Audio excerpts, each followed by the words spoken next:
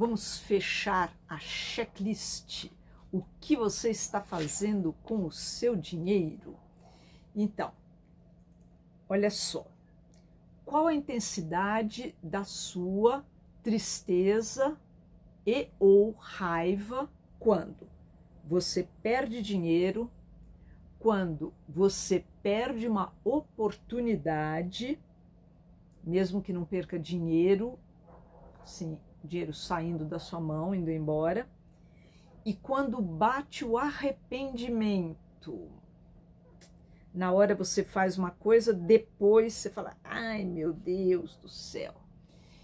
Ah, como é que você avalia a intensidade desses sentimentos?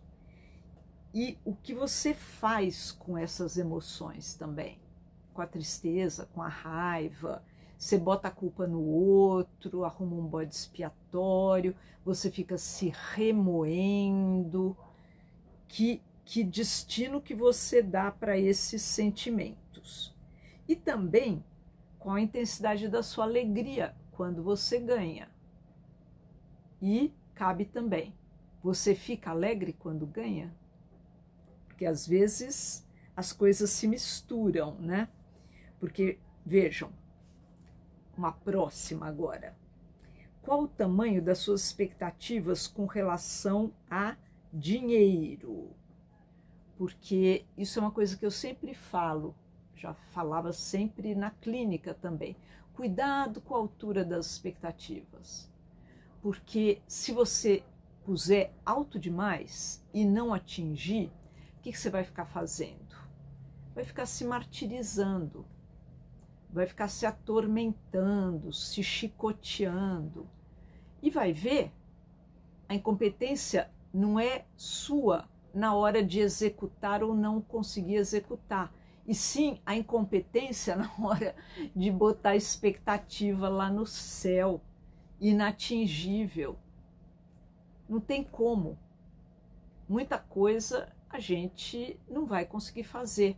É assim na vida, né? Então, é importante sempre rever expectativas, porque elas vão se modificando com o tempo.